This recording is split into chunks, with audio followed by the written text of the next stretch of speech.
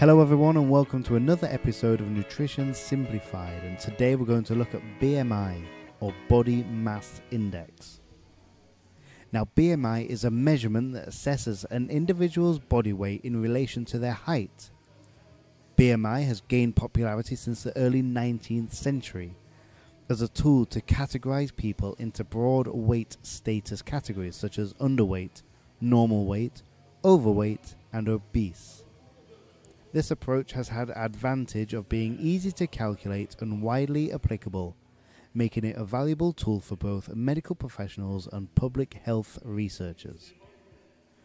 BMI served as the go-to metric for assessing weight-related health risks, guiding and informing public health policies.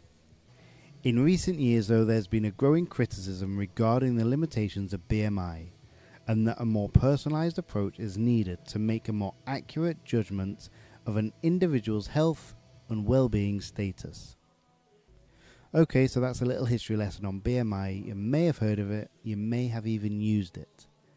Now, is it any good? Well, let's see if we can simplify the concept of body mass index. Let's imagine we've got in front of us a beautiful, colourful painting very intricate and very detailed. Well, BMI is just the sketch you do to lay the outline for that painting. A sketch doesn't capture the balance of light and shade. BMI doesn't account for the subtleties of a person's body composition. It treats weight the same whether it's muscle or fat. BMI overlooks factors like muscle density, which can be a significant indicator of health. A sketch might not show the emotional uh, or expression, just like BMI doesn't reflect the diversity of health factors, things like genetics, metabolic health, or lifestyle choices. A sketch provides a basic outline and general idea of a picture, and BMI offers a broad overview of a person's weight in relation to their height.